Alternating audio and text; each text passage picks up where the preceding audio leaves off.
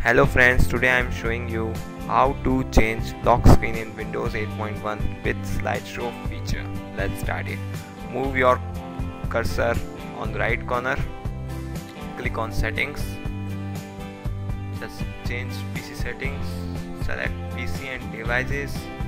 In lock screen option, you can set any image in your background. You can also select your own image click on browse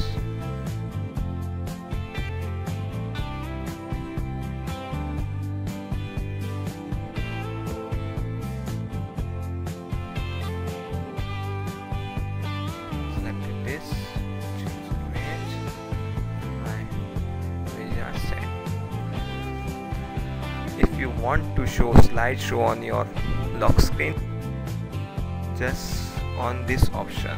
Play a slideshow on the lock screen. New more options are here set other option default. You can add folder of images here. Add folder. Select folder. I selected this folder SD folder is choose now click OK. This is added.